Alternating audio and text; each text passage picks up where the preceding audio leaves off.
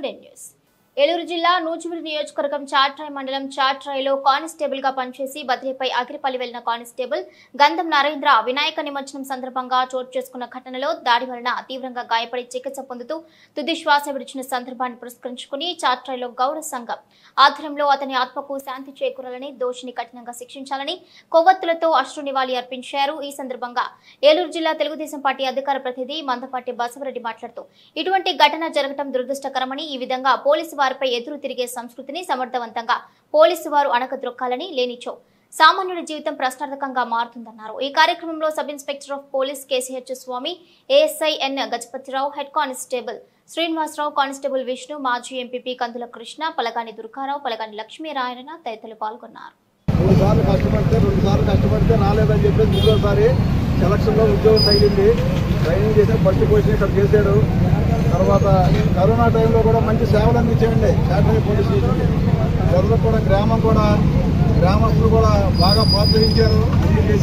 చట్ట ప్రకారం ఏ విధంగా ఉంటే ఆ విధంగా నడుచుకునేవాడు ఎందుకంటే కరోనా విషయంలో కానీ జనాలు ఉండే ట్రాఫిక్లో కానీ ఆయన నిర్మోహమాటంగా పక్క తప్పుకునే ఉండటం కానీ అన్నిట్లలో కూడా విధి నిర్వహణలో నిష్పక్షపాతంగా చేసే వ్యక్తి అతను. దురదృష్టవశాత్తు ఈ మండలి నుంచి బయటికి వెళ్ళడం అక్కడ అనుకోని కారణాల వల్ల కొన్ని సంకల్ప శక్తి ఉద్యోగం.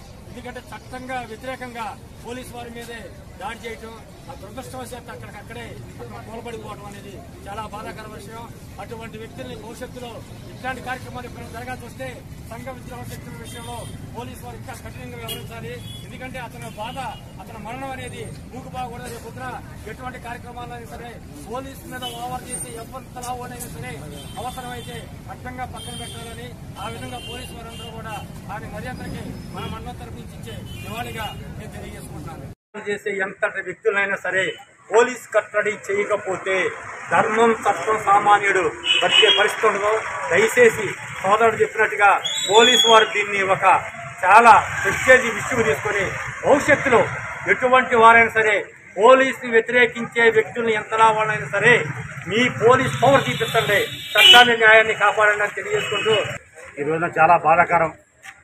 మరి గంధం నరేంద్ర అనే వ్యక్తి మన దగ్గర అన్నగారు చెప్పినట్టు కరోనా టైం రావడం మరి అదేవిధంగా ఎవరితోని గొడవ లేకుండా మంచి పేరు తెచ్చుకోవడం మరి మన మండలం కాకుండా ఆగపల్లి మండలం దురదృష్టం ఆయన వేయటం మరి అదేవిధంగా అక్కడ జరిగిన సంఘటన మన అందరికి తెలిసిందే.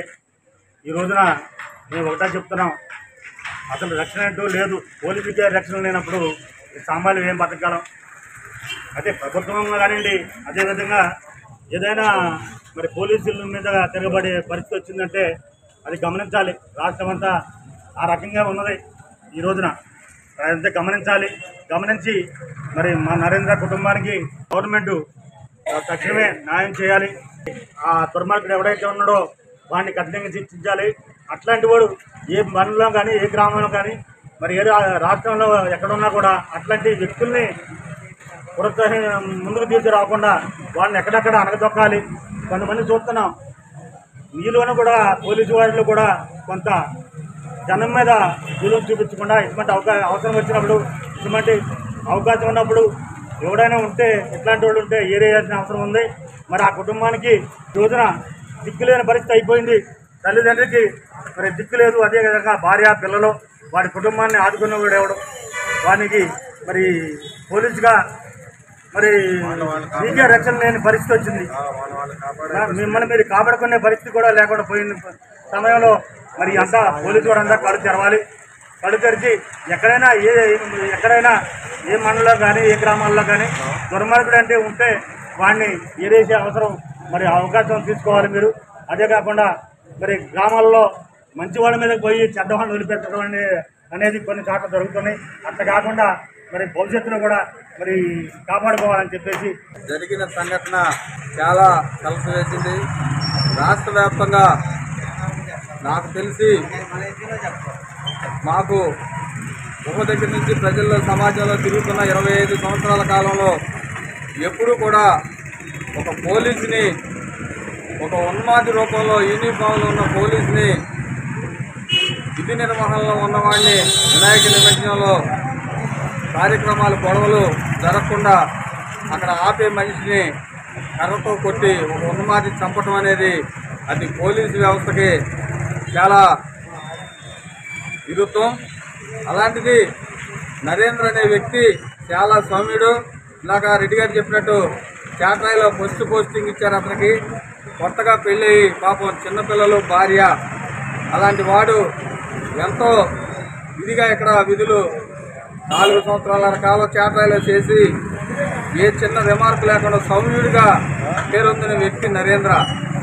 అలాంటి వ్యక్తిని మానవతా దృక్పథంతో జాబ్ చేసుకునే వ్యక్తిని ఆ విధంగా ఘోరంగా కొట్టి చంపడం అనేది అది పోలీసు వ్యవస్థకి చాలా పరాకాష్ట.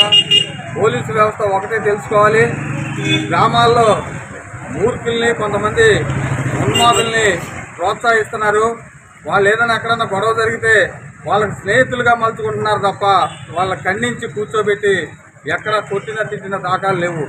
అందువల్లే ఈ ప్రజాస్వామ్యంలో మొన్న ఒక పెద్ద పోలీస్ ఆఫీసర్తో మేము ఏదో కలిసి మాట మంచి సందర్భం వచ్చింది ఒక నెల క్రితం. ఏదో ఫంక్షన్లో కలిస్తే సార్ ఈ గవర్నమెంట్లో వ్యవస్థలన్నీ దెబ్బతిన్నాయి. మీ పోలీస్ అంటే గౌరవం కూడా లేదు. మీరు కొట్టుకుంటున్నా తిట్టుకుంటున్నా కూర్చొని చూడాల్సిన పరిస్థితి వస్తుందని చెప్పుకున్న నెల తరుణంలోనే అదే పోలీస్ కానిస్టేబుల్ విధుల్లో ఉన్న వాడిని కొట్టి చంపటం జరిగింది. రేపు రాబోయే రోజుల్లో కూడా ఇంకా ఈ దుర్మార్గ పరిపాలనలో ఈ కేసులు అరెస్టులు ఇవన్నీ చూసి నేనే హీరోలు అని చెప్పి కొంతమంది రెచ్చిపోయి ఇలాంటివి కూడా మనం ఎవరిని ఏం చేసినా మనల్ని బాధ పెట్టేవారు లేరని చెప్పే ధైర్యంతో కూడా పోలీసుల్ని కూడా లెక్క చేయని పరిస్థితిలో ఈ రాష్ట్రం వ్యవస్థ పోలీసు వ్యవస్థ కూడా చాలా బాధపడేలాగా చేస్తున్నారు. దాని అందరినీ గమనించి ఎవరైనా సరే అసాంఘిక కార్యక్రమాలు చట్ట వ్యతిరేక పనులు చేస్తే వాళ్ళని ఖండించే విధానం మీలో ఉంది. అది మీరు చేయకుండా వాళ్ళనే మీరు హక్కును చేర్చుకొని మీరు స్నేహితులుగా మారిపోతున్నారు. అప్పుడే ఈ వ్యవస్థ ఇలా తయారైందని చెప్పి నేను అనుకొని